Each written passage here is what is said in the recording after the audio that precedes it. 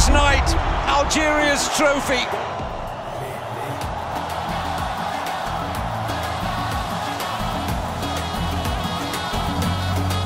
في 2021 الختام كان مسكا.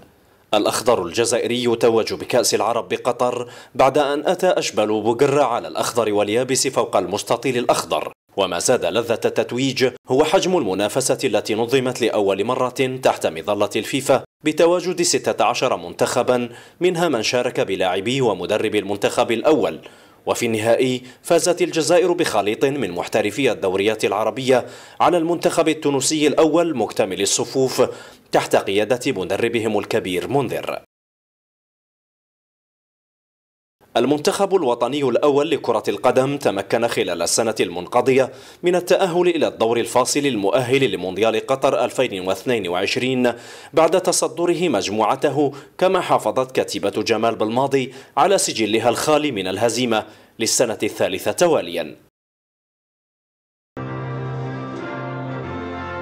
وبعد فترة من الانقطاع أعاد الجمهور الجزائري اكتشاف المدرجات وأجوائها عقب السماح بحضوره لمتابعة المباريات عن قرب شرط أخذ جرعتي اللقاح واحترام تدابير الوقاية من فيروس كوفيد 19 وعلى مستوى التسيير والتنظيم انتخب شرف الدين عمارة في ليلة رمضانية على رأس الاتحادية الجزائرية لكرة القدم ليخلف خير الدين زوتشي. ومعه تغير نظام المنافسة لتصبح الرابطة المحترفة الأولى بداية من الموسم المقبل بستة عشر فريقا بدلا من عشرين. أما الرابطة الوطنية لكرة القدم فكانت على موعد مع انتخاب رئيس لها فجددت الثقة في عبد الكريم مدوار عقب انسحاب منافسه عز الدين أعراب. Taufik Makhloufi of Algeria, semi-final winner.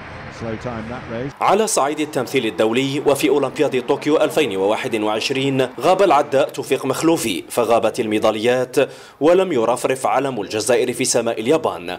فما كان من رياضيي ذوي الاحتياجات الخاصة إلا أن يكونوا استثنائيين كالعادة ويحفظوا ماء الوجه على الأراضي اليابانية بحصدهم 12 ميدالية أربع منها تلونت بالذهب.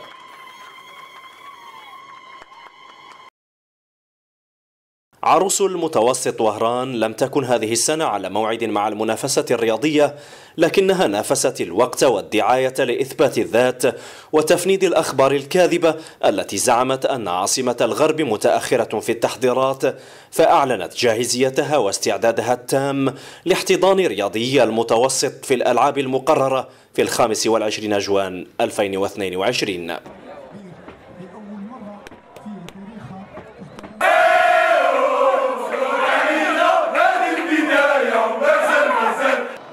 سنة 2021 أغلقت بنشوة التتويج العربي واختتمت أيضا بتجمع لاعبي الخضر في تربص بقطر للتحضير لحملة الدفاع عن التاج الإفريقي بالكاميرون وربما تحطيم الرقم القياسي العالمي لأطول سلسلة مباريات بلا هزيمة حتى تكون السنة المقبلة سنة الأفراح كرويا.